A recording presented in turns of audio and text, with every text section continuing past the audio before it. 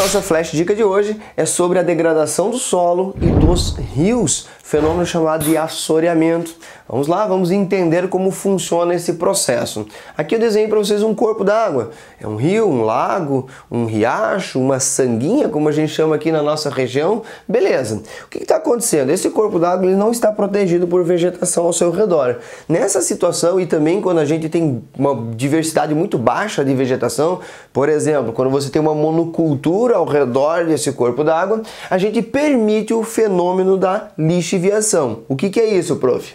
A gente vai ter chuva, precipitação e o impacto da água sobre o solo acaba desagregando as partes superiores desse solo que já são desagregadas e também acaba varrendo essas porções que são menos compactas, que são mais aeradas para dentro do corpo d'água. Lembra que na lixiviação a gente remove parte do solo, principalmente das barrancas desse corpo d'água e nutrientes que estavam associados a esse solo.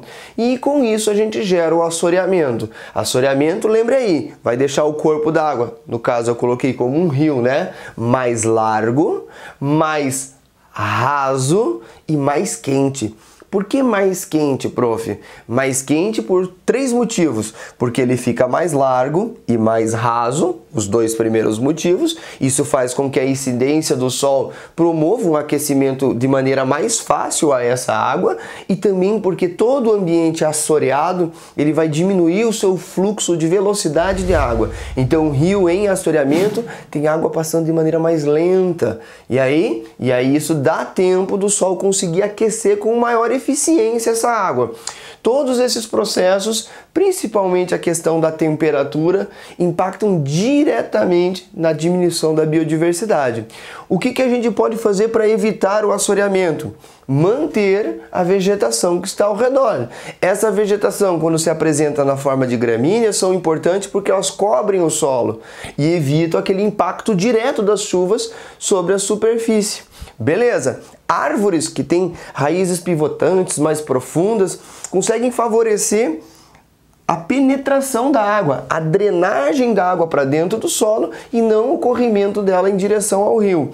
E as raízes de ambas as plantas são importantes por agregar. Agregam a terra e impede com que a gente tenha material particulado se deslocando para as porções mais baixas do relevo. Agora, importante, pensando em prova do Enem, essa vegetação que a gente tem ao redor dos corpos d'água, a gente pode chamar de mata ciliar, de mata ripária ou ribeirinha. Essa é a Flash Dica de hoje. Eu espero que vocês tenham gostado. Até! Tchau!